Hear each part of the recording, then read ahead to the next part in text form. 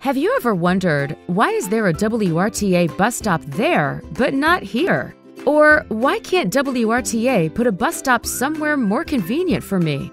That's understandable. It may seem like bus stops are placed randomly, and it sure would be nice if bus stops could be placed where they're most convenient for each and every WRTA rider.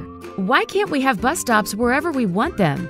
The answer is to serve all WRTA customers in the best way possible, we need bus stop balancing. When bus stops are placed too close together, it slows down service for everyone by making overall route times longer. That's because the more stops a bus has to make, the more time it has to spend pulling in and out of traffic and letting off and picking up passengers. Too frequent stops can also adversely affect other vehicles traveling on the same road.